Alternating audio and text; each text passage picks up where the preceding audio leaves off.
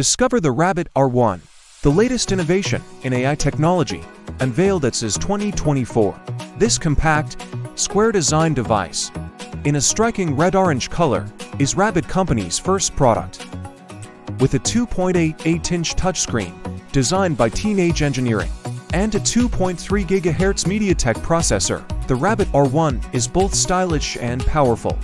It boasts 4 gigabytes of RAM, 128 gigabytes of storage, and a battery built for all day use.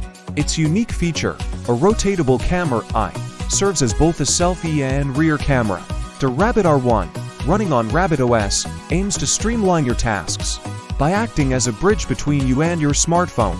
Equipped with a large scroll wheel, a side button for calls, and far-field microphones for voice commands, it simplifies interactions with apps. Using Atmosic's large action model, similar to Chat, it excels in understanding and executing natural voice commands. Need a ride to the airport? Just ask, and Rabbit R1 will arrange it through Uber.